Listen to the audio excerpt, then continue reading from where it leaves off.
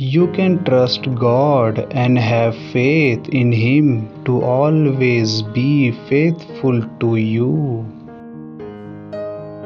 What I have come to understand and embrace wholeheartedly is that when I trust myself, God, others, and the process of life, moment by moment, without thinking about it, if something happens that violates my trust, I always have the option, power, and ability to make a choice to do something about it or not.